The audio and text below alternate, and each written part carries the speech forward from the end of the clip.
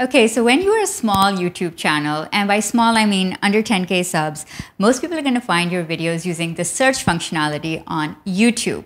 When I want to rank my videos on YouTube, my first step is to do keyword research. And so in this video, I'm going to take you through how I do keyword research step by step, and you can follow along. So, are you ready?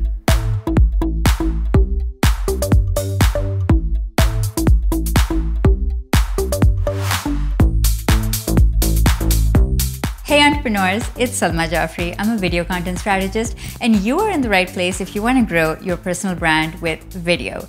Be sure to hit the red subscribe button and the bell icon next to it if you want to be the first to know when I upload a new video. I want to talk about keyword research because it is the number one step in ranking your videos, and finding the right keywords can be a little bit challenging. That's why I created this step by step video to guide you through how to find the keywords that will help you rank on YouTube. Now, you want to think about YouTube as two sided there's a demand side and there's a supply side. Okay. On the demand side is what people are searching for. So when they go to YouTube or Google and they type in a query about a problem or a challenge that they want to solve, that is them showing you search volume, AKA demand. So these are the topics that people are typing into, which tells you this is what people want. This is the demand side of the equation. On the supply side is the search results that show up, including yours. So, what are video creators or entrepreneurs or business owners providing to meet that challenge that somebody has typed in? What is the answer? What is the solution? So, that is the supply side of the equation. So, in essence, keyword research is simply providing the right supplies for the right demand. So, let's get into the steps of how I do it. So step one is to make a whole list of video content ideas. That's where it all starts. It starts with a little literal brain dump of ideas. Now, I do this on Evernote as I'm taking a walk or watching a show or just letting my mind go blank and ideas come, right? But if you are having trouble finding video content ideas, I do have a video which I'm going to link to up here on how to find video content topics using keyword tools. You can go watch that for some inspiration. There's another uh, really powerful way to find ideas, and that I want to link to. It's James Altucher's article on how to generate 10 new ideas every single day. It's a great mind exercise to just get your creative juices flowing. So I'm going to link to that in the description below. So, step two is to take your video content idea and plug it into a video content plan. Now, I think that this step is absolutely essential if you want a branded look to your channel, if you want consistency, and if you just want to be able to create regular videos all the time. Now, the thing is that if you don't have a plan, your videos are going to be a series of hits and misses because there's no clear strategy behind them. And that is exactly what happened to my channel between 2009 and the end of 2016. As you can see, I had very irregular results. My video production was very sporadic. So in 2017, I created a simple Google spreadsheet that formed the basis of my video content plan. And you can download this spreadsheet, uh, this template as I call it, for free. It, the link is in the description below. Now, when you download this, you will also be put on the waitlist for my new course coming out, which is how to create a video content plan, which is going to dive deeper into all of the aspects of this whole strategy. And I promise you, it is worth it to put in that effort to make that plan so that you can get great, consistent results with your video marketing. Step three is to find your focus keyword. Your focus keyword is the primary keyword that you want to rank your video with. You could have other secondary and tertiary keywords, but the focus keyword is the one you really want to get that ranking for. So to find the search volume for your focus keyword, I use a tool called Keywords Everywhere. And even though it may not be the most scientific way, but it does give me like a gut check on, okay, what kind of search volume does this keyword have? Ballpark figures. So I usually want to aim for a high search volume so that it's a video that is in demand. Okay, one other quick fact about your focus keyword, it must be at least three to four words. Do not choose keywords that are one to two words. A classic beginner mistake is to uh, think very broad words, which are just one or two phrases. You definitely want to go long tail. You definitely want to go in more detailed, more in depth, more specific keywords, at least three to four words. Okay, so once you have done the demand side, which is to find your focus keyword, let's move on to step four, which is the supply side, which is to take a look at what videos already exist around that keyword. So the simplest way to do that is to type in your focus keyword in YouTube search and see how many video results come up. Now, here's another classic mistake uh, that beginners make, which is to go for keywords that have millions of search results come up. So you are essentially going to be competing against millions of videos. And that is not good odds to start a YouTube channel with or to grow a small channel with. So ideally, you want to make sure that competition is low. So let's talk numbers here.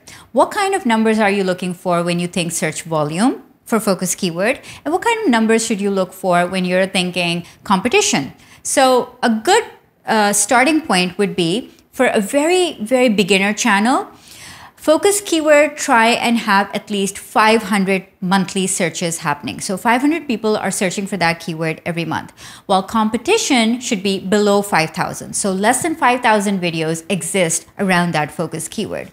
If you're a slightly larger channel, then you could do 1,000 monthly searches at least and under 100,000 search results. So that is like a bit of a gauge or a ballpark range that you could work with. Step five, use TubeBuddy.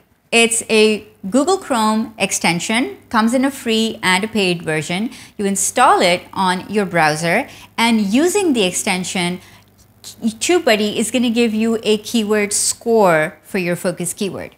Now, for me, I try and have the keyword score at least 60, which is good, or 70, which is very good. I try not to use a keyword that goes below that range. Obviously, higher is better.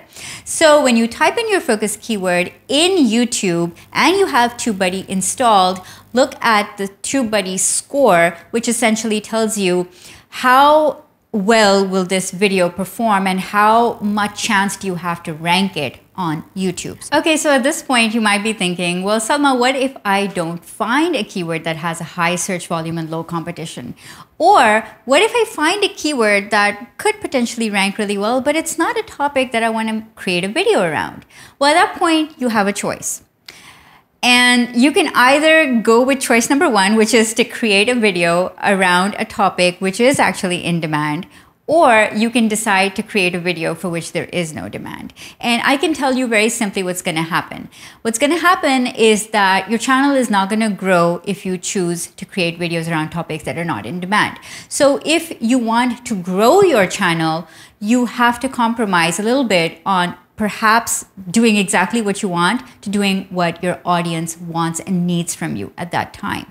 If you're a bigger channel and you just want to be creative or you are just starting out and you just want to practice making videos, then maybe you can, you know, have a little bit more creative leeway and create whatever you want without being bothered too much about rankings and all of that.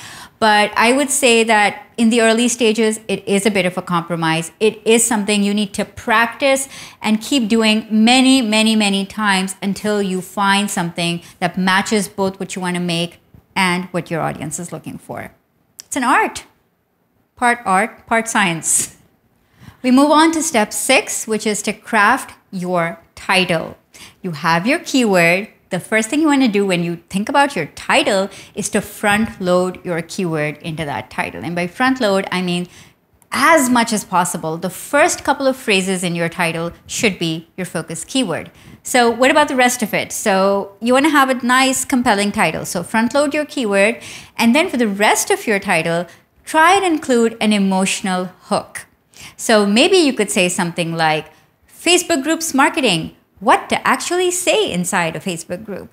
Or maybe Facebook groups marketing, the stuff you didn't know, you know? So you want to make sure that you have things for both the algorithm, the keywords, and for humans, your audience, which is the emotional context. Oh, and another tip I have for you here is if you think of something really cute, that you want to say or like a slang or something, the place to put that is not in your video title, but there is a place. The place to put that is in your thumbnail. So the cute phrases, the slangs, the funny stuff, complements the video title and goes in your thumbnail text. In this video, I wanted to focus on keyword research. And in the next video, I'm going to show you how to take the keywords that you have identified as being great keywords and how to write tags and descriptions around those keywords. So stay tuned for next week's video. I have two call to actions at the end of this video, two things I want you to do. The first thing is that I have a live stream starting every single Friday. It's going to be all about how to plan your content. So you want to stay tuned to that. So I'm going to drop the link in the description. Join me every single Friday. And I'm going to be taking your examples. So you're going to give me topics and I'm going to help you create a keyword optimized content plan. Sounds good? I'll see you on Friday. My second ask today is for you to get the video content template if you haven't already, so you can start to strategize and plan your keywords. The link is in the description below to the video content plan. Remember to go after what you want and build a brand you love because you can be the media. Oh, so you want to know like my favorite SEO joke ever? It it stands the test of time. Okay, here goes. Ready? What is the best place to hide a dead body? The second page of Google search results.